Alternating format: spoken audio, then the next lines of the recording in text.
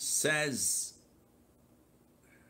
please advise as smoking haram in Islam, but not clear whether a woman should marry a guy who is a smoker.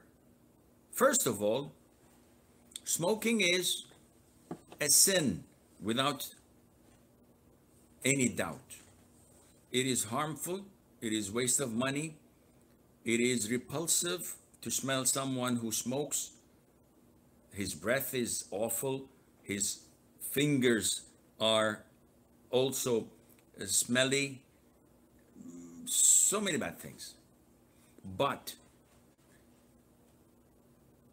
is this a legitimate excuse to reject a proposal? This depends on a number of factors. Number one, whether that person is adamant in smoking, he's not shy of doing it in public, he doesn't care what people say. This guy, guy is an open, open sinner. He's a, an openly sinner. He doesn't care about what people say. And definitely, this attitude is not a positive attitude with in, in a man. Yes, we're all sinful. We all have our shortcomings. I have my own sins, but I don't I do not go around and brag about them. It's something that I'm ashamed of. I try to conceal to the best of my ability.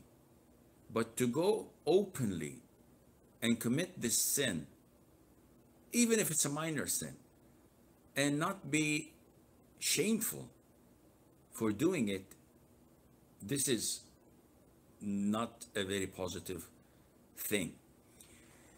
If you are a practicing woman, definitely this is not a person that suits you. But remember that this is not the only sin. Shaving is a sin. So if a good thing to reject him or not, this depends on how religious you are.